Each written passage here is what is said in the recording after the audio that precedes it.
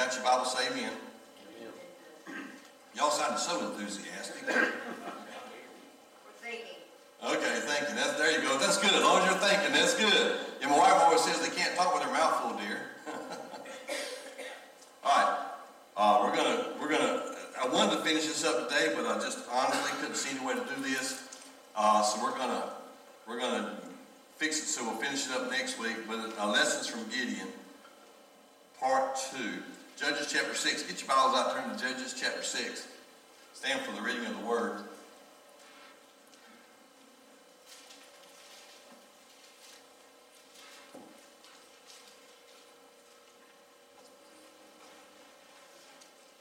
We're just gonna, we're gonna, gonna, maybe not start at verse one like we have been doing. Let's start over. Let's start, well, let's go ahead and start at verse one because if you haven't been in here, you might not know exactly where we're coming from. And the children of Israel, verse one, chapter six, verse one. And the children of Israel did evil in the sight of the Lord. And remember, evil in the sight of the Lord does not mean necessarily that you're doing bad stuff. It just means you're doing it your way. so sometimes it is bad stuff, and sometimes you're just doing it your way.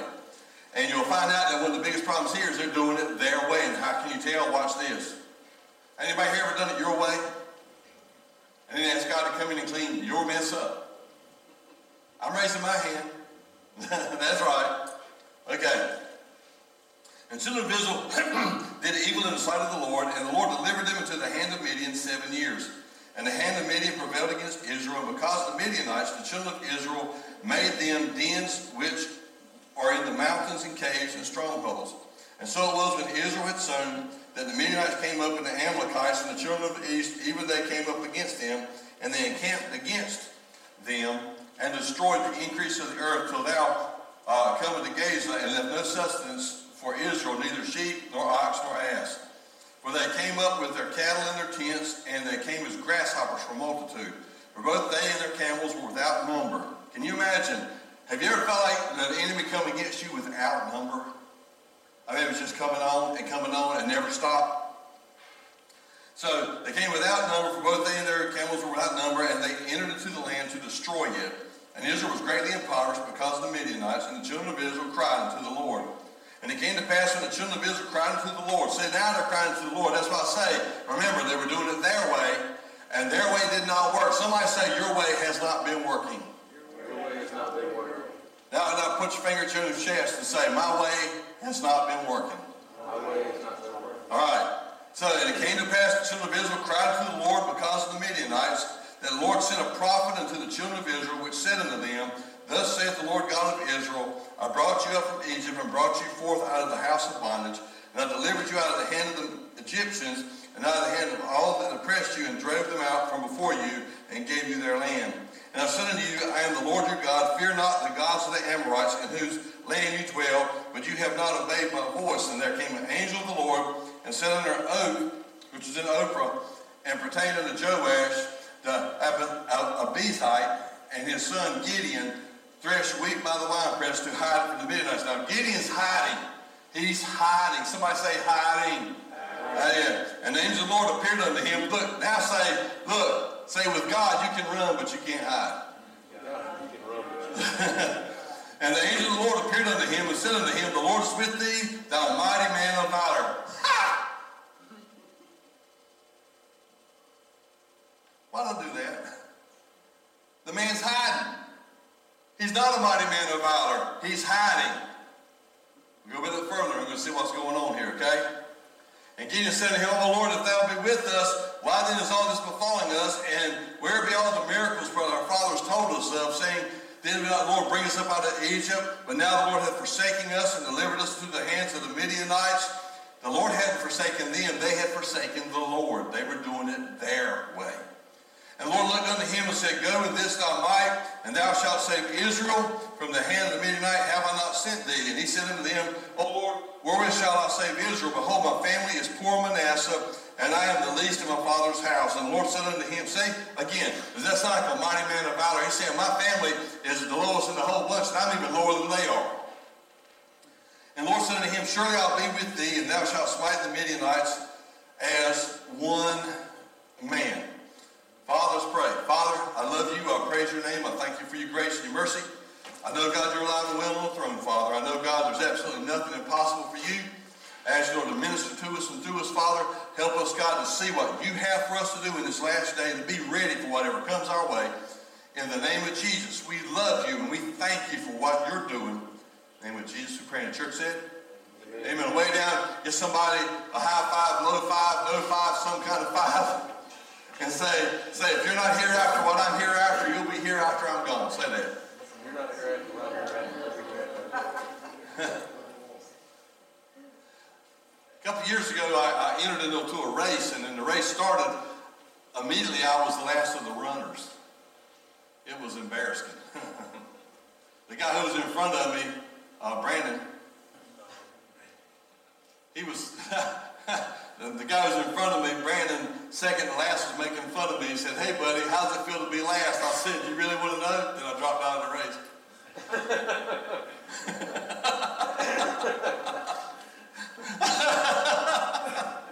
All righty then. That was funny to me than it was to y'all. Amen. Sitting there. I know it's no joke. It's all that's how to put some people's name into that. Kind of fresh it up. My wife tells me all the time, says, you sitting there having a, having a little party all by yourself, aren't you? I'm reading and laughing and carrying on, and she go, can you let me in on it? and I'll tell her, she go, huh? okay. Just let's, let's go over a few little things kind of briefly here to kind of get us all on the same page. Uh, uh, there's old Gideon blowing his trumpet, amen. Gideon is a mighty example of how God can take a nobody. He had an inferiority complex. That's why I laughed when I said mighty man of valor. He was not, he, he, he didn't realize what was inside of him. He was going by what he was feeling, and what he was feeling was not mighty man of valor. That's part of what we're going to be talking about coming up on Tuesday nights. People that are going through stuff, fear and all that. We're going to get teach them how to reconnect uh, to the present and get beyond this mess and, and, and, and find some deliverance. And when I say deliverance, when we say deliverance, the thing about it being a, a rough thing and the preachers up here preaching and, and casting demons out of people, that's deliverance. That is deliverance, but there's also some deliverance when, when God takes the fear out of my heart, then that's deliverance. When God helps me deal with my grief, that's deliverance. When I can, can get up and walk outside without feeling that pain and scary wanting to go back in the house, that's deliverance. So, so let's, let's put deliverance down on a level where everybody uh, can, can buy into it. So, so he took a nobody. He had inferiority complex. Uh, he was led by fear because he ran, and he had a victim mentality. He was hid. You know, uh, it's so easy, so easy. You know, uh, I'm going to do a sermon coming up shortly on the ants. There's ants in there. I don't know if we call it ants in my hat, ants in my yard, ants in my garden, but automatic negative thoughts that we all have. And these automatic negative thoughts are sent to us from Satan, sent to us from our flesh. They're sent from us from the world. And when we get these negative thoughts, uh, automatically it, it, it bends the way we see things and it puts a different lens on us and we don't see things the way they are and we actually wind up as a victim or we wind up being led by fear or we have that inferiority complex. We're going to talk about that in a couple of weeks. But, but we see all this stuff going on in his life, but, it's, but his Bible, or the Bible here tells us how God turned him around and used him to make a difference in that uh, situation.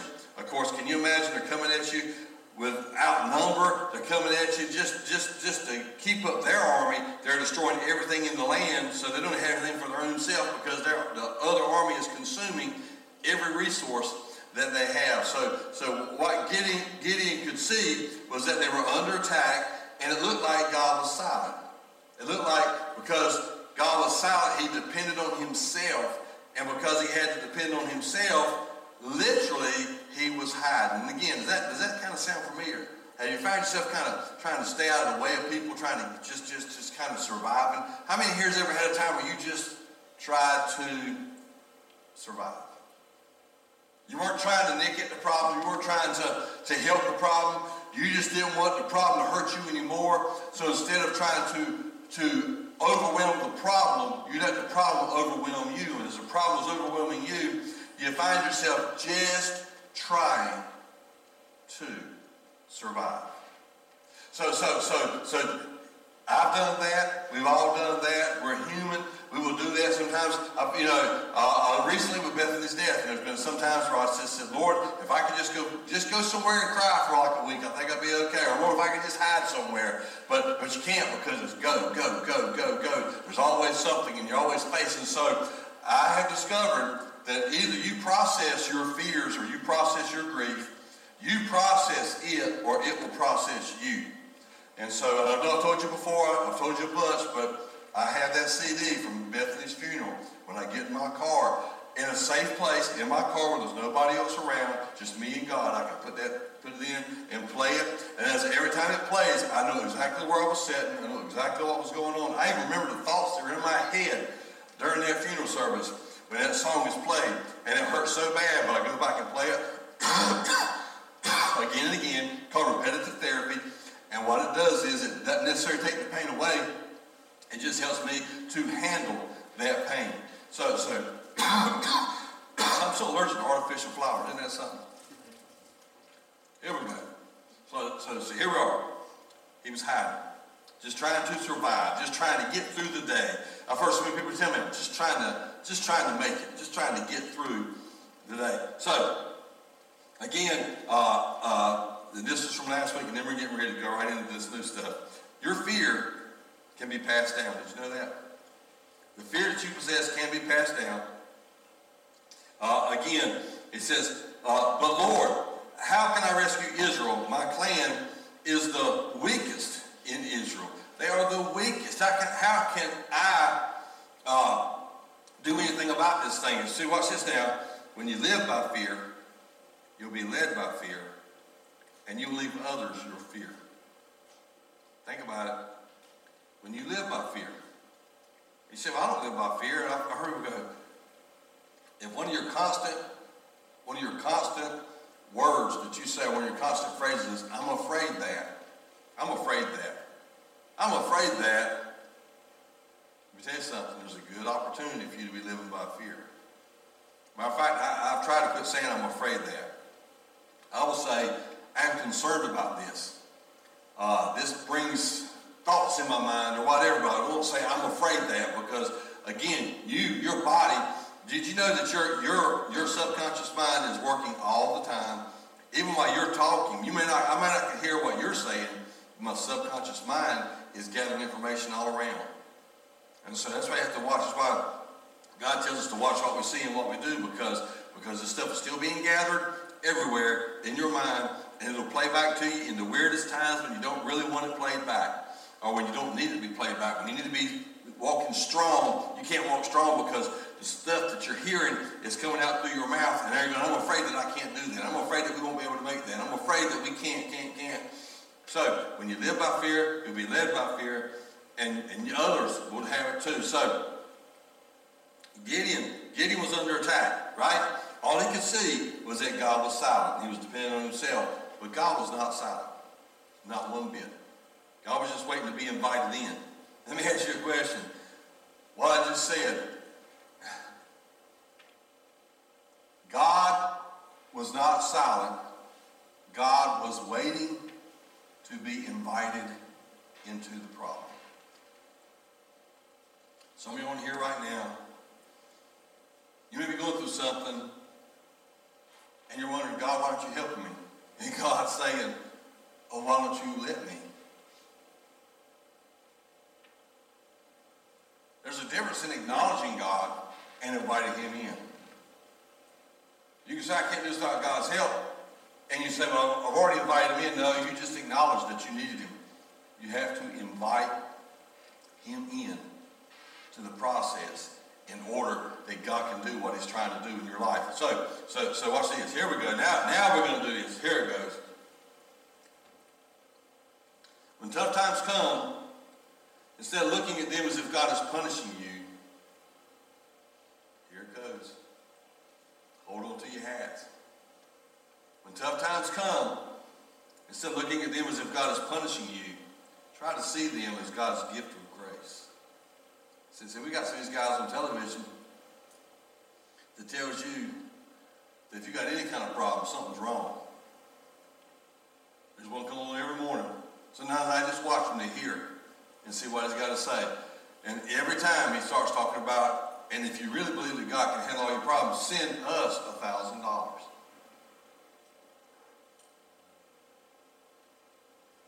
Tough times come, does not mean, look, doesn't mean you've done something bad. Listen carefully. When tough times come, instead of looking at them as if God's punishing you, try thinking about it in a different way. See them as God's gift of grace. So, again, the first thing God was going to do, he was going to help Gideon move beyond his fear. So here it goes. Y'all ready? Going over, hang on, lady, we're going for a ride. Y'all remember that off of Indiana Jones? Just before he cut that bridge. here we go, cutting the bridge. Here we go. Hard times like a washing machine. Hard times like a washing machine. They twist, turn, knock us all around, but in the end we come out cleaner, brighter, better than before. Wow. Some of us are getting some Ajaxing right now. Don't like it. Matter of fact, it kind of takes my breath away sometimes, but it's okay. So, so get ready. First thing he found out was God uses tough times to get our attention. Listen to this. Actually, God uses tough times to bring out the tough in us. All I can think about, and, and I've heard I've heard Doug talk about it, I've heard other guys talk about it in boot camp. I bet you never told your told your sergeant, stop, that's that, that's just that stop that please. Do you think you can lower that rope just a little bit more so I can get to a lot easier, sir? no, you didn't, did you? You did what they said. Amen. And did it with did it with with with with, with quickly. Did what they said. Uh, God, and what was doing to toughen you up, get you ready. God uses tough times to bring out the tough in us. Some of us don't even realize how tough we are. You know, some of us are walking around like Pee Wee Herman, not thinking that we got a Clint Eastwood inside of us. Think about it. Some of you have no idea how much you can take because you've never been tried to the point where you had to get down to pull out what you had in you. And God doesn't want a bunch of softies running around. God needs somebody that's tough, that can handle it, that can get through the tough times and, and help lead other people out. So first, he uses tough times to bring out tough in to direct us. Watch this. To direct us up. When the tough times come, I know now I've got to depend on God. If I don't depend on God, it's not going to happen. God has to be in this thing. God has to work. If God's not working, that's impossible. I have to have God. So tough times directs us up. I got to pray. I got to touch God. I got to let God touch me. But also it draws us out. It draws the tough out. You know, I, I, I can remember all through the years, especially in the early years, there was, uh, you know, like guys, guys would come to me and go, you know, I really feel called to preach. I said, okay, let's, let's start working through this thing. And I would hear the way they would preach, and then I'd watch as, they're, as they started going through things as they started going through things, the way they preached was different. Before they went through things, they used cliches. They used the latest, whatever they heard, whatever that sounded good. But as they started going through stuff, started fighting hard battles, all of a sudden their preaching changed. Their preaching got down to earth. Their preaching was how to get through things and how to handle things. It wasn't how God was going to stop everything from coming. It was going to be rainbows and and, and, and, cupcakes all the time. And so, again, it makes me look up. When stuff happens, I'm looking up. But at the same time, God's bringing it out. I remember when, when, I remember the look on the doctor's face. Bethany was over, was over on one side of the cancer center in palliative care. They didn't even move her. They let her stay right there. They didn't move her downstairs, They left her right there. So Bethany's in palliative care, and Linda's on the other end with the blood clots, and she's hooked up to a heart monitor and oxygen. And I was working from one end of the hall to the other, going back and forth. And one of my many trips during the day, I walked up onto the hospitalist. And, and, and normally they come to me and tell me things. This time he walked up to me with his arms held out. And so I didn't know exactly what was going on, but he walked to me and, and he just grabbed me and squeezed me. And he said, Man, I'm so sorry. I am so, so sorry. He says, I don't know how in the world. I just don't know. I don't know what to say. I don't know what to do to tell you. He said, but but but God's got and he said it, God's got this. I said, I know God's got this, Doc. And he said, he said, I know tough times come, but this has got to be the toughest. And I said, well, you know what, Doc? I said, we serve a tough God. And I said, God knows what, can, what we can take and what we can't take, and God's got this. And he just said, well, if, if you need me, you just let me know. And I said, yes, sir. And I saw him Saturday while I was there looking, working with Stephen uh, and, and Frankie. Uh, I saw him again. He said, and he grabbed me and squeezed me.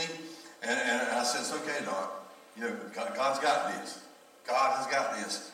I've learned that, that, that the stuff we go through will make you stronger. I want you to say something with me. Ready? Y'all got to say this with me now. Get ready.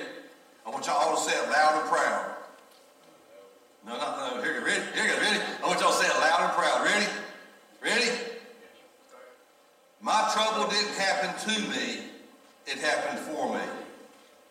Say it loud and proud. My trouble didn't happen to me, it happened for me. One more time. My trouble didn't happen to me, it happened for me. What does that mean? I'll tell you. I'm glad you asked. If all I can think of is all this is happening to me, I become a victim. Oh, what was me? That's what exactly what Gideon was saying. Why did all this happen to us, God? If you were keeping your promises like you said and did everything you said you were going to do, why is all this happening to me?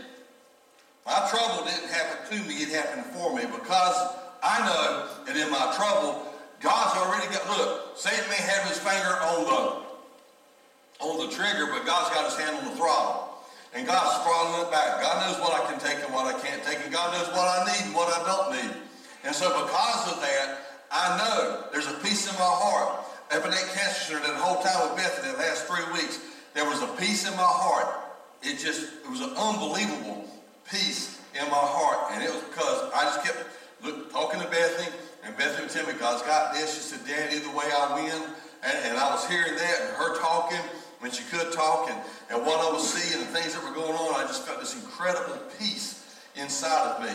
And I, was just, I kept saying, this trouble did not happen to me. It didn't happen to us. It happened for us. Amen? Because God's going to get some glory in all this and something amazing is going to happen. So number one, tough times. God uses them to get our attention. Number two, I love this. God sees more than we do. He sees yesterday, tomorrow, and today all at one time. All we can see is today. We can only see what's in front of us. We can anticipate what's happening a minute from now, but we can't see what's happening a minute from now. We have memories of what happened, but even a lot of times the memories of what happened winds up getting skewed in our mind and we get seeing things a little different than it actually was. But God is not subject to time. He stands back and he sees from the time we were born to the time we die all at one time. That's how he can go move back and forth and he can take care of business and fix it for us and fix things and arrange things. God sees more than we do. And it came to pass, let's see here. Let me read a little further here. Let's see here. I'm going to try to get it. And there came an angel of the Lord and set under the oak which was in Ophrah that pertained unto Joash, the, the uh, Abiezrite, and his son Gideon threshed wheat by the winepress and hid it, hid it from the Midianites. And the angel of the Lord appeared unto him and said unto him, The Lord is with thee, thou mighty man of valor. Think about this now. Thou mighty man of valor. He did not look like a mighty man of valor. He looked like Pee Wee Herman. But God saw Clint Eastwood in him. God was fixing to do something in him that was amazing. And God was going to bring out in him the champion that was in him. Gideon was actually looking, he was gauging himself. He was a thermometer. All he saw was is what was going around. He was gauging himself what was going around. And God said, you're not a thermometer, you're a thermostat. The difference is a thermometer just reads what's out, reaches out what it sees, it reports. But a thermometer, a thermostat, you take it and you adjust it where you want it. It reaches out and reads what's going on, and then it makes the adjustments to make it happen the way it's supposed to. And so he saw this. He knew that Gideon was a champion. It just had to be brought out. You see, Gideon didn't act like a mighty warrior. Uh, you know, uh, all he could see was what was going on around him. He, he saw the conditions, he saw the circumstances, and all he could ask was how. Why? How many times you look at your circumstance and go, how? Why?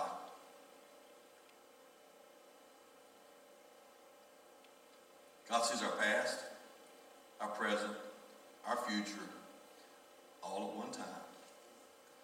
And he says, I know how. And he asks, why not? Let's see another guy.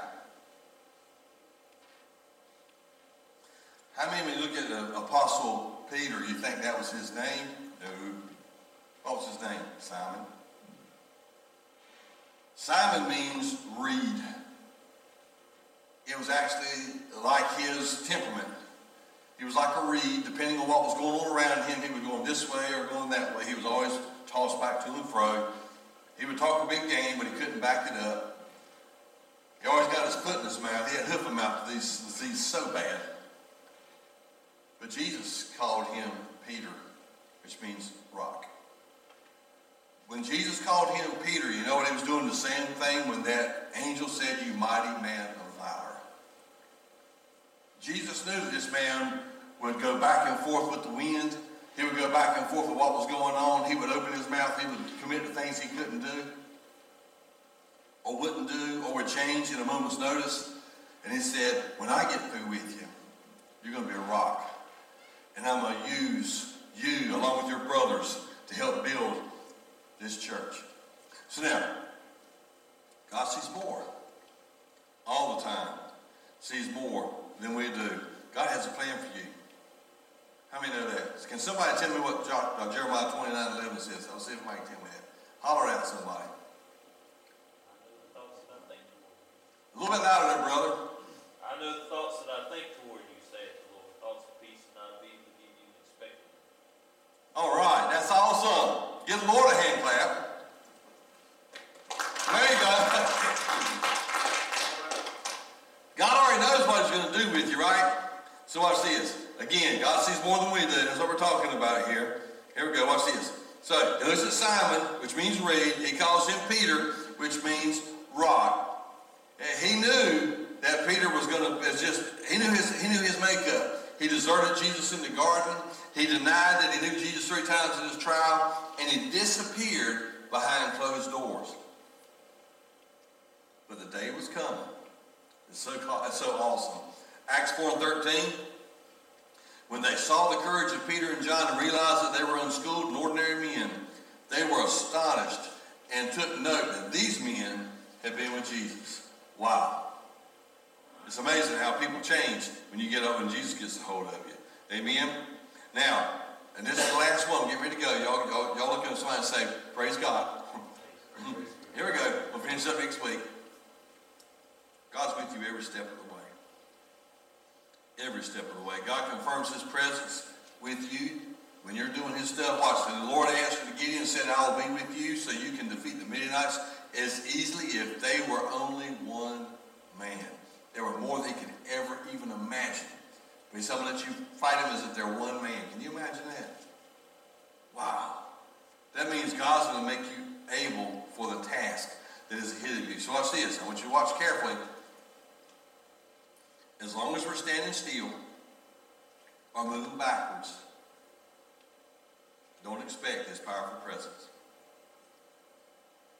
One more time. As long as we're standing still or moving forward backwards, don't expect to experience his powerful presence.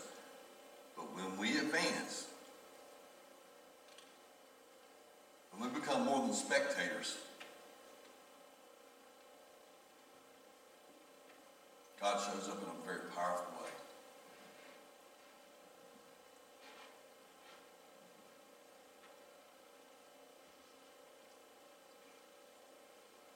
How many have ever seen them on their own power? Ever seen an aircraft carrier turn itself at dock?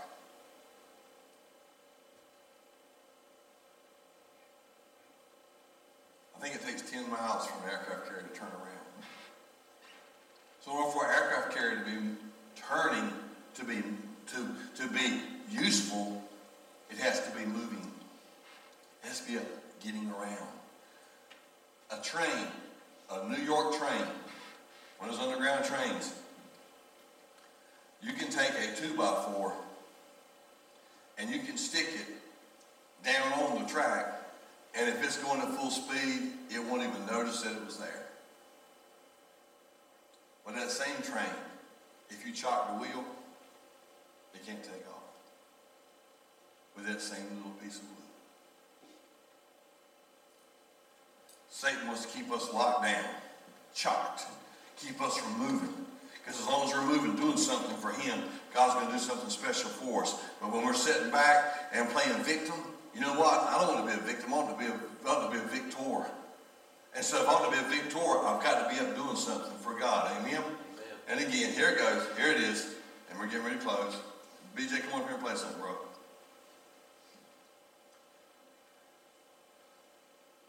God is about to rock somebody's world. Amen. I believe with all my heart, God is fixing to rock somebody's world. is going to totally change them. I believe there's somebody here right now. Within a few months, you're going to be doing stuff for God you never thought possible. Doesn't matter your age. Doesn't matter your background. God wants to use you. Everybody stand.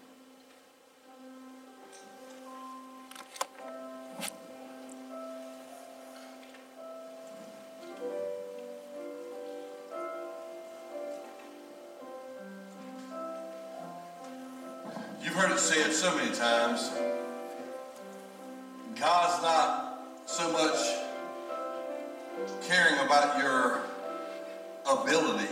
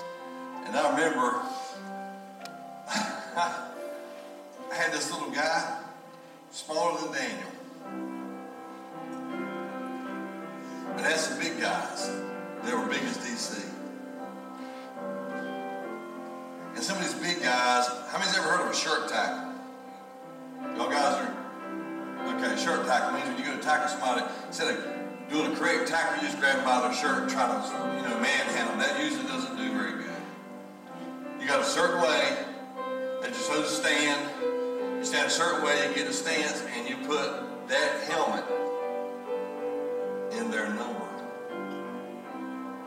And you reach around and grab them and topple them. The smallest guy on the team, smaller than Daniel. We're trying to show these guys how to tackle.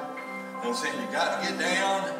You got to you got to put your head in his number. You got to grab him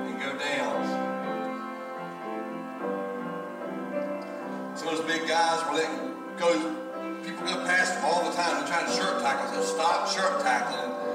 Get them like I showed you. This little guy put me in, coach. That little bitty fella went out there and did the way he was trained. He got down, he put his helmet right in the numbers, he grabbed, and no matter how big the guy was, when they got in was amazing to me because that little bitty fella was showing up all the big guys on the team because he did what he was taught. And it was amazing to watch him as he, that little bitty fella, was knocking him down. If you just tried to grab him and pick him up and flick him like a flea, he was just so small. But when he would do, when he was in his zone, you come at him and he knew what he was supposed to do, and he did what he was supposed to do. He would take him down no matter how big they were. They went down. Some of y'all are here right now. You've been shirt tackling the devil. It's time to quit shirt tackling. Just grab what you can grab, try to yank him down, try to get him out your way. Leave me alone, blah, blah, blah, blah. It's time to learn how to tackle that rascal, to get in like you're supposed to, do what you're supposed to. You'll find that your life will change almost overnight. maybe not, maybe not the stuff coming against you may not change, but the way you handle it will change. The way the outcomes are going to be are going to change. Your attitude, your outlook is going to change tremendously once you start doing it right. But it's got to begin here and here. Watch what God can do in your life. Everybody bow your head. Close your eyes.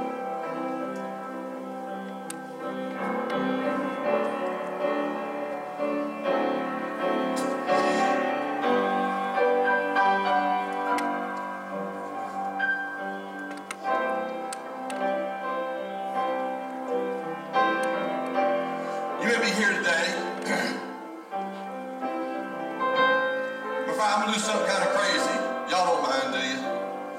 I do kind of things kind of crazy all the time. Close your eyes. Do not look around.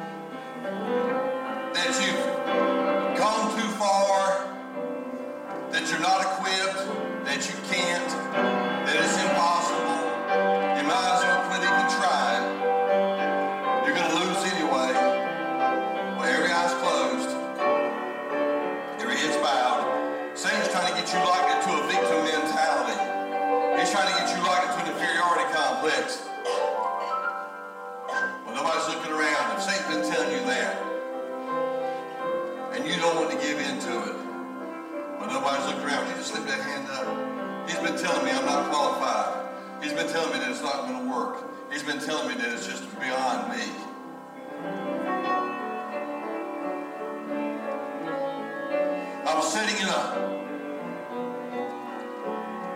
place the other day with some people that I would consider some very powerful people. And I was sitting there with them. I was asked to participate. I'm in there participating. And I'm a psychiatrist and doctors and lawyers and DAs and all this thing. And I've been called in to help participate.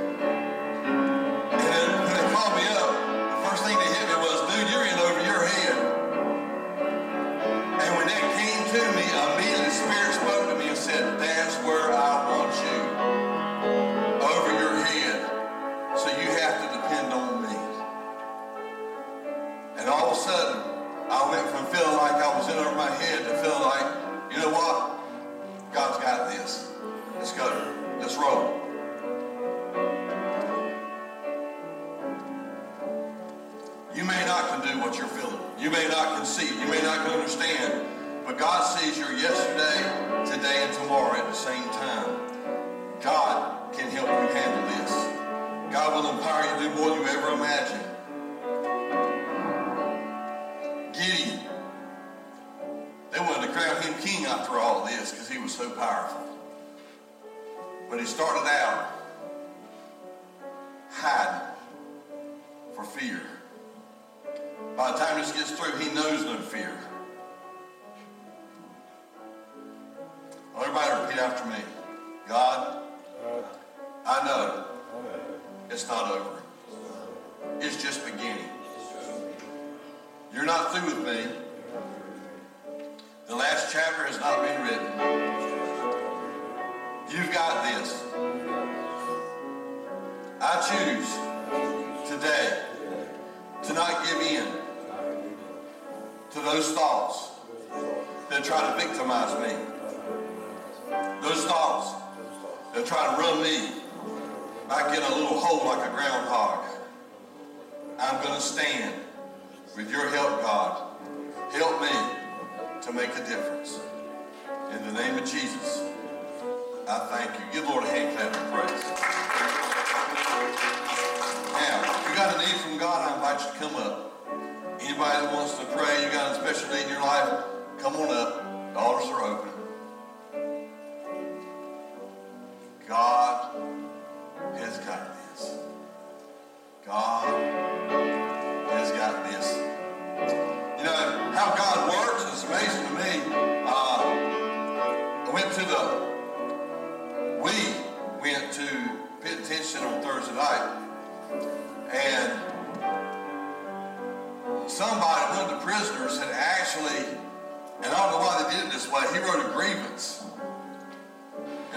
Was he, he didn't get a Bible. He wanted a Bible. And wrote a grievance. And so Sister Boone was in there when I came in. Says, make sure this guy gets a Bible. He wrote, he didn't put a request it like everybody else does. You just request you want a Bible, we'll bring it to you. He put a grievance. And so I said, I'll make sure I get him. Well, you know how I am sometimes. I get so busy doing stuff that I may lay something down and forget where I laid it. Well, I laid down the grievance and forgot about it. The very first place I go in D5, I go into D, I go into D, oh, excuse me, I'm going to D1. I go into D1. I minister to all these guys, and this one guy says, "Can you come talk to me, Pastor?" So I go talk to him. And I already asked him who needed Bibles, and he said, I need one, so I brought his Bible up to him, and I'm talking to him. As I'm talking to him, goes, you know, God has just really started working on me, and I don't know exactly what I'm doing, I don't know how to do it, whatever. He said, I just need some guidance. He said, can you tell me how to pray that really gets God's attention? And we've been doing it on, on uh, Tuesday nights, so I told him about the Lord's Prayer. And we prayed it and took his Bible and marked it. And then, and then he said, is this going to get me through to God? I said, that will. I said, but if you want to really want God to work with you, you got to be born again. He said, what does that mean? And I explained it to him, and I turned to Romans chapter 10, verse 9 on, and I read it, and I circled it, and I marked it for him. And then we get, we prayed, and I ministered to him for the longest time. He was so happy. When, we, when I left, he was excited. He said, I can't wait to see what God will do, and blah, blah. It was just awesome. I go down, and uh, I think Doug might even ask me, or somebody asked me, how, did, I, did I give the guy with the grievance his Bible? I looked at the grievance paper because I forgot about it. And that was the place I had stopped at and worked with the most and led the guy to Christ and showed him how to pray and all this stuff. And I said, wow, I didn't answer his grievance, but God did. it was amazing to me how God does things like that. So, so again, trust God to do things with you you never would imagine that you could do, especially on your own. But with God, all things are what? That's right. Let's say the Lord's Prayer together. Then, then when we get through saying the Lord's Prayer together, I'm going to ask Brandon to dismiss us in prayer. Our Father, who art in heaven, hallowed be thy name. Thy kingdom come, thy will be done, on earth as it is in heaven. Give us this day our daily bread, and forgive us our trespasses, as we forgive those who trespass against us. And lead us not into temptation, but deliver us from evil. For thine is the kingdom, the power, and the glory forever. Amen. All right, brother. Heavenly Father, we thank you for the time and opportunity we've had to be together in your house. And Father, as we heard that word today, we ask that you would place it deep in our hearts. Let it take